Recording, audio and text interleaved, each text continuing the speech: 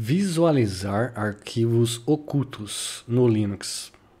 Olá, tudo bem? Seja bem-vindo, bem-vinda a esse vídeo. Hoje eu vou compartilhar aqui uma coisa simples, porém importante aqui no sistema, né, que alguma vez ou outra aí não é, eu não uso com frequência, mas de vez em quando eu acabo precisando, né, que é acessar arquivos ocultos aqui no sistema. No Windows também uh, uh, acontece isso né, de, de uh, ter arquivos ocultos no sistema. Por que, que tem arquivos ocultos no sistema? Boa pergunta. Para não chegar um, uma pessoa esperta assim que nem eu e apagar. Tipo assim, quando eu comecei a aprender a usar sistema, a pessoa que tá. Né, eu, quando eu comecei a usar, aprender a usar o sistema, eu, às vezes eu apagava. Ah, o que, que esse arquivo tá fazendo aqui? Deixa eu apagar. não queria que ele ficasse lá, sabe? Vamos ah, aquela ideia, né? E aí, eu, nisso aí, então, para alguns espertalhões, assim, que nem eu, não quebrar o sistema, né? Uh, então, vou mostrar aqui como você acessar isso. Eu lembro que uma vez um colega meu né, tava, me, ensinando umas coisas no sistema, faz muito tempo isso. Eu falei, eu falei assim, ó, por exemplo, tem um arquivo aqui assim na área de trabalho. Eu falei, mas o que, que esse arquivo tá fazendo aqui? Não tava aqui antes? Tá, não quero esse arquivo aqui, eu falei pra ele.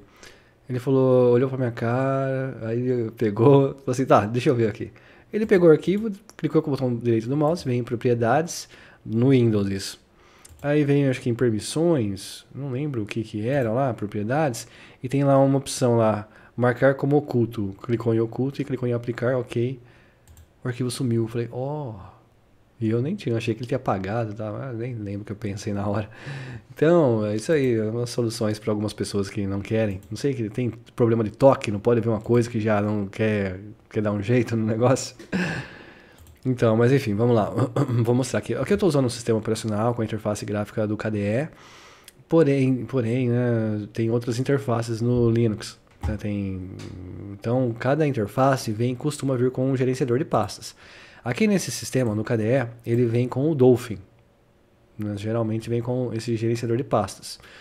Então aqui ele está mostrando todas as pastas que eu tenho no momento, né? Tem, tem as pastas ocultas ele não está mostrando nesse momento aqui. Eu peguei como para dar um, um, paralelo aí, como exemplo, eu peguei esse outro gerenciador de pastas aqui, que chama-se Tunar, e ele costuma vir com a interface gráfica do XFCE. No entanto, ela funciona bem. Ah, esse, tanto esse funciona bem aqui no KDE, quanto o Dolphin funciona bem no XFCE ou outro, inter, outra interface gráfica, ou gerenciador de janela. Então, eles têm funções semelhantes. A questão, uma diferença que ocorreu aí de um tempo para cá, que no Dolphin você apertava ante, ante, antes, é, você apertava Alt ponto. É um atalho aqui no teclado para mostrar as pastas ocultas. Hoje, Funciona ainda. Uau! Ó, Alt ponto, ele vai mostrar as pastas ocultas. Porém, eles adicionaram também aqui um outro atalho que é o Ctrl H.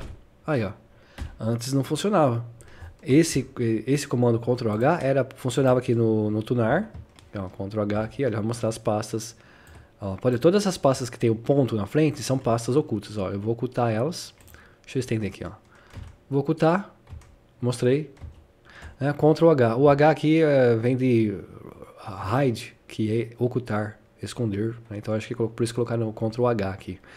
Mas se eu apertar Ctrl uh, Alt ponto aqui, não vai funcionar aqui no Tunar. Só Ctrl H. Então isso daí vai servir também para o Nautilus, para o Carra, um, Nemo, né? os gerenciadores aí mais de pastas mais conhecidos aqui no Linux. Hum. Então é assim que você vai mostrar a pasta aqui, ó, que eu voltei para o Dolphin. Ó, apertei Ctrl H ou então Alt ponto. Então não tem, né? Adicionar aqui o Ctrl H para ficar igual aos outros gerenciadores de pastas.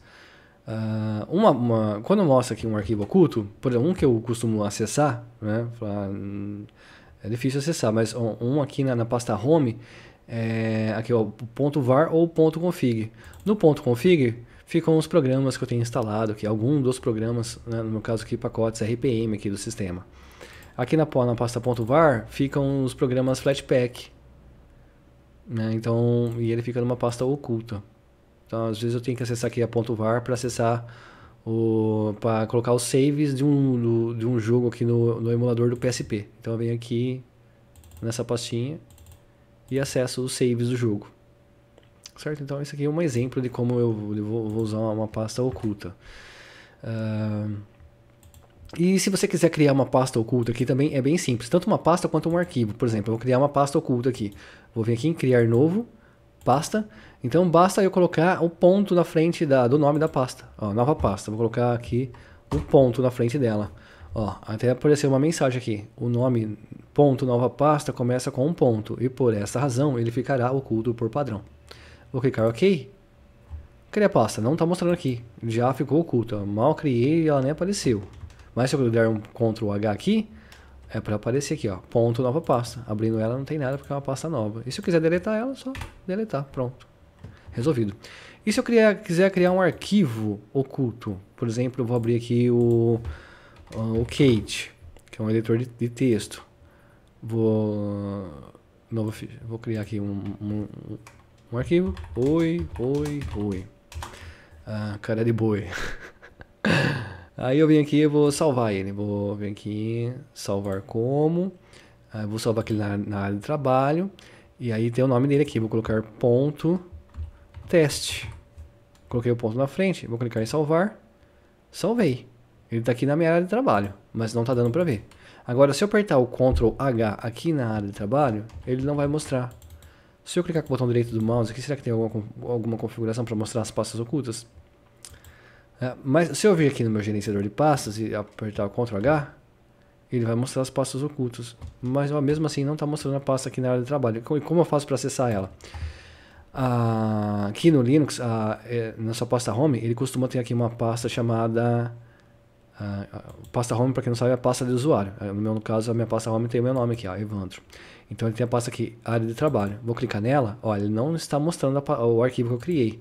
Mas se eu digitar Ctrl H, Aí mostrou aqui, ó, pasta.teste que eu acabei de criar, abrindo ela, tá escrito aqui, ó, oi, oi, oi. Cara de boi. Aí eu vou apagar, tem até uma pasta aqui, até um, um arquivo que eu nem sabia que estava aqui, ó, né? Ponto directory. directory. O que que tem aqui? Deve ser alguma configuração aí. Tá? É assim que eu acesso, apertar Ctrl H novamente. E é aqui, escondi a pasta. Bem simples, né? Mas, se eu pegar aqui o gerenciador de pastas, é, eu não quiser usar esse atalho, só vir aqui nas opções. No Dolphin, por exemplo, é assim. Você clica aqui nas configurações dele e vem aqui na opção, mostrar arquivos ocultos. Clicando nele, vai mostrar também.